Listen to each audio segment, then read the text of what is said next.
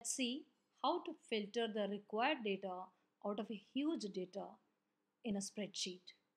This is again my assessment workbook and I have the stud uh, data of almost 74 students. It's a mixed data. I want to apply filters and have a short list. So first what I have to do is click on the data tab and apply filters. Now you can see all these have got filters. Now what I want is I want the result of only students who have clearly passed. I don't want supplementary, I don't want pass by grace. I want only students who have clearly passed.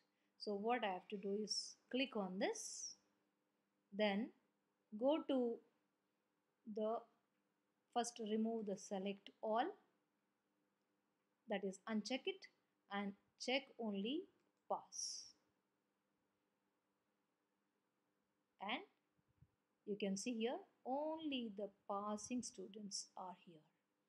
If you want to check the roll numbers see if we are coming to roll number 10539 and then to 265 in this way. So it is removing the or you can say it's hiding not removing hiding the records of those students that have not clearly passed. Then again I want out of these passing students also I want only the first divisioners. I don't want second or third divisioners. See you can go to the division column then again apply a filter filter. First uncheck all and then check only first. What you're left with only the first divisioners.